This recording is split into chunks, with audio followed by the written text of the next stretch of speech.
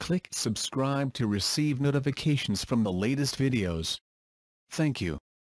Ronan Farrow, the Hollywood prince who torched the castle. A child of entertainment royalty and an early witness to power used for ill. The son of Woody Allen and Mia Farrow opens up about helping bring down Harvey Weinstein.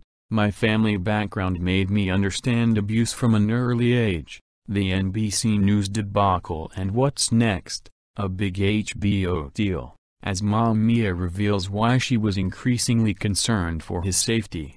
Ronan Farrow is dressed in a black tuxedo jacket and blue silk pajama bottoms. Showing a bit of stubble, his blonde hair must, he's holding court at the bar at Mama Lion, a sleek supper club in L. A South Korea town. It's a Saturday in early December, and Farrow is among the guests of honor at a joint birthday party with his friends Shannon Woodward, the Westworld actress and Katy Perry pal, and Juliette Liu a fellow Yale alum and the executive assistant to Universal Pictures chairman Donna Langley.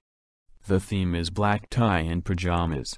Farrow, who lives in New York, won't turn 30 for a few days, but he's in LA running down sources for his next New Yorker piece.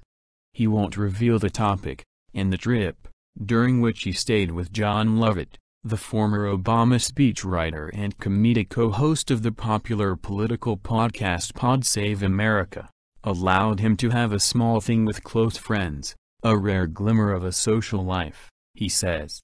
Just a few miles away, on the other side of the Santa Monica Freeway, a far less intimate event is unfolding, Disney's world premiere for Star Wars, The Last Jedi.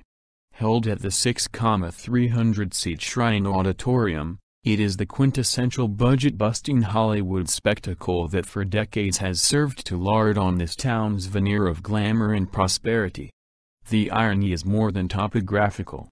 It was Farrow, the golden-haired progeny of Hollywood royals Woody Allen and Mia Farrow, who took a journalistic sledgehammer to this industry's meticulously tended facade when he, along with reporters from the New York Times, revealed decades of sexual predation by now disgraced film mogul Harvey Weinstein.